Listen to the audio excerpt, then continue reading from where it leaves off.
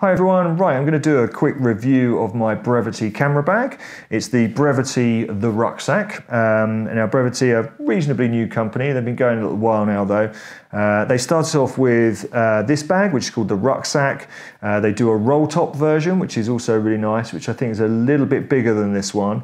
Um, also, I think the material it's made of is different as well, which I think is a kind of a really seriously weatherproof material. This is fairly weatherproof anyway, actually it's nylon and it's pretty good. Plus it also has a rain cover as well for good measure. Uh, they also do a bag called the Original, which as you would imagine is a bit more of a traditional uh, style of rucksack. Um, so they were their three main bags, but they've actually got a couple of new ones coming called the Roma and the Scout, which are smaller rucksacks, which are really, really nice.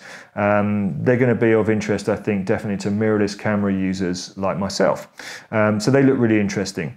Uh, by the way, this bag uh, was purchased by myself from, from Brevitē and I had it shipped to the UK.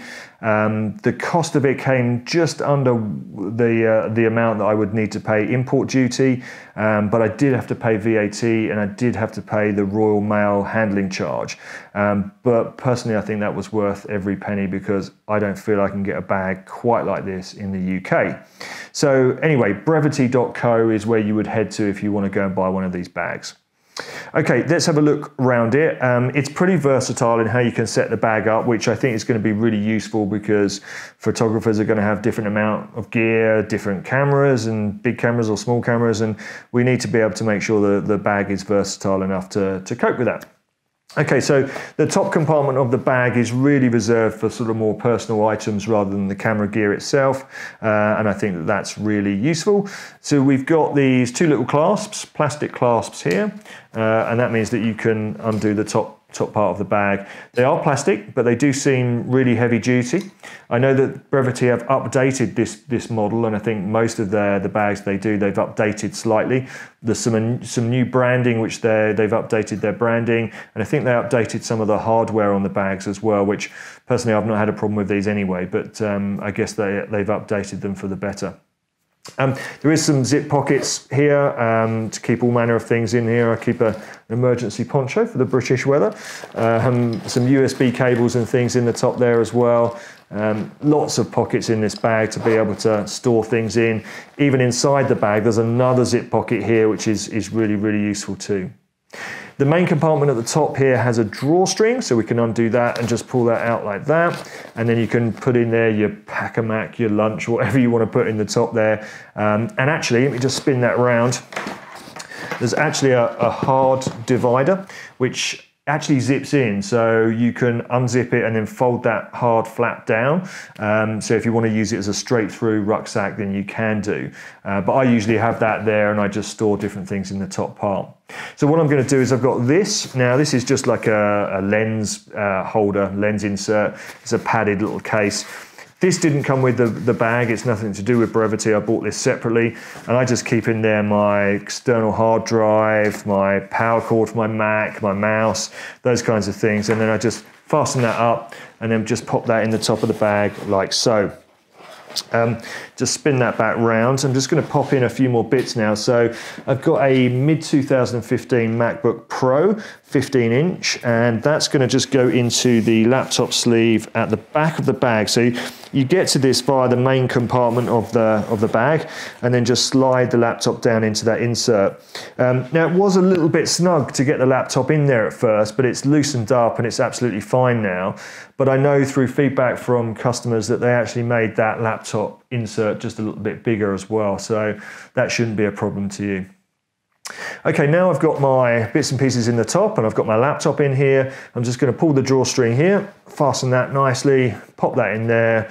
And now that narrows the top of the bag that when you fold the, the cover over, it's going to be nice and weather tight. And just do those clips like so. Okay, and we're in. Good. Okay, we need to get our camera gear in here, so let's do that. Now, we've got a zip on the side here, just here okay, and let that fall down there. So that's the bag uh, pocket, and then you've got the insert itself. Now this camera insert here is completely removable. You can take that out and you can customize it. You've got obviously all the dividers which are, Velcro or hook and loop, uh, and you can just basically move those to, to wherever you want. Um, I'm going to put my main camera in this side. Okay, and the reason I put my camera there is because there's actually a side access panel which is really useful. So I'm going to put the stuff that I want to get to most often uh, right next to that side panel. Okay, so cameras in there. Let's put a lens in there. What have I got here? So that's a Fujifilm X Pro 1. Uh, this is a 35mm f1.4 lens. And I've also got a 23mm f1.4 lens, which I'm going to put in there. Okay, then I've also got a Fujifilm X100T, which I'm going to pop in there. That's it, just enough room in there. So you can see I've got a fair amount of stuff in there all nice and snug and nice and safe in those padded dividers. Then just kind of close the um, internal uh, compartment up. I don't bother zipping those up actually because I've got the zip from the outside so it's much quicker to get in and out and get your gear if I leave that I leave it open like that. Zip it up all the way around, nice and safe in there. Okay, then we've got the front pocket. You've got these two magnetic clasps, which uh, work really well just to keep that flap down. And I'm now just going to unzip that and show you inside there.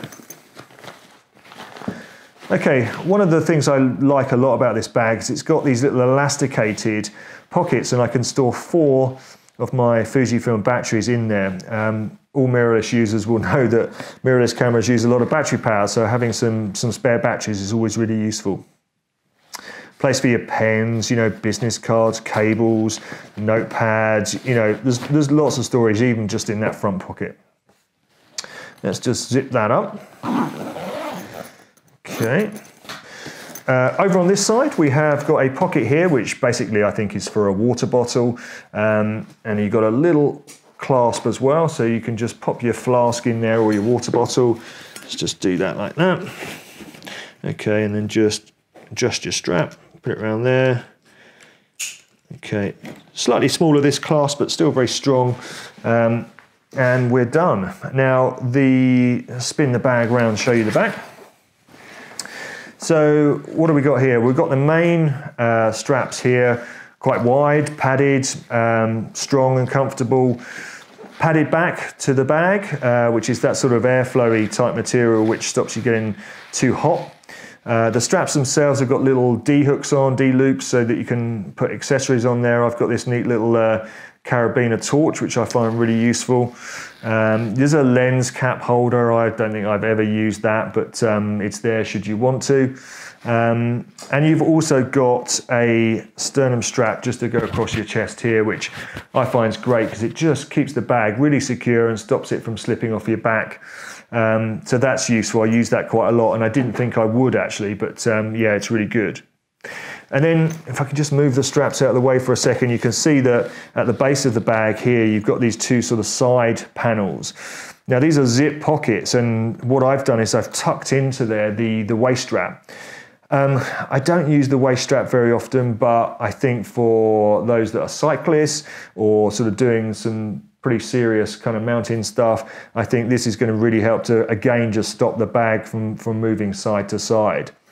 I kind of wish that these would be removable, that you could just kind of join them here or something, but um, I don't know whether that's physically possible. But um, as I said, I just use these little zip pockets to tuck in the straps here, and that at least does keep them out of the way. Okay, let's just turn the bag back round and look at the bottom of the bag. Okay, and we've got these straps here. This is where I'm going to put my tripod. Now this is quite a lightweight tripod. Um, it's a new one actually, it's made by Rollei. And just do that up. So this is perfect tripod for someone like myself using a mirrorless camera system. Doesn't have to be too big and too heavy. But I have used a much heavier um, tripod on this bag before and found that these straps have been perfectly up to the job uh, and making sure that's not going to go anywhere. So the whole bag now is quite, you know, it's got a, quite a lot of stuff in it, but it's it's pretty secure and I've got no problems at all with, with any of that. So uh, there we go. As I said, I've had the bag for over a year. It's lasted really well. Um, in fact, it really doesn't look like it's a year old. Um, you know, I think, and uh, you know, I've got no problems at all with recommending this bag. Um, I like the style of it, like the look of it. It's comfortable to wear, and it's also lasted really well. So no, no hesitation recommending Brevitē on that note. Okay, hopefully that's been useful. Many thanks. Cheers. Bye.